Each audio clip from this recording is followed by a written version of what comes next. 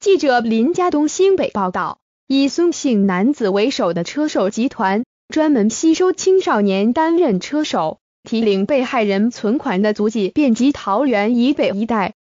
新北市警局金山分局一举逮获孙等七名车手集团，讯后全依诈欺罪嫌函送法办。新北市金山区陈姓被害人去年九月间，遭自称为警察局。鉴宝局与地检署等官署人员联合，以谎称陈的银行账户涉及洗钱为由，要求陈缴纳罚款，解除监管。陈信以为真，把提款卡、存折与账号密码交给对方。等陈发现不对劲，报警，账户内四十五万元现金已遭提领一空。案经新北市警局金山分局侦查队与警政署刑事警察局侦查第二大队第一队追查发现，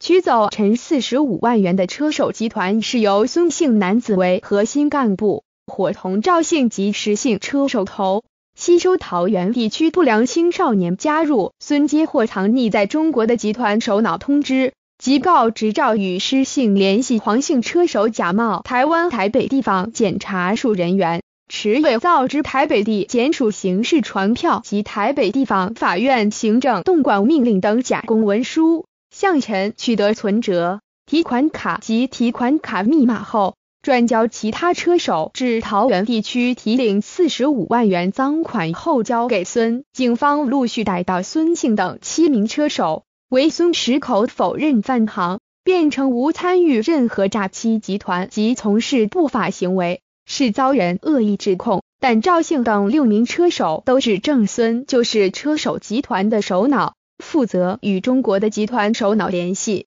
警讯后将孙等人依诈欺罪嫌法办。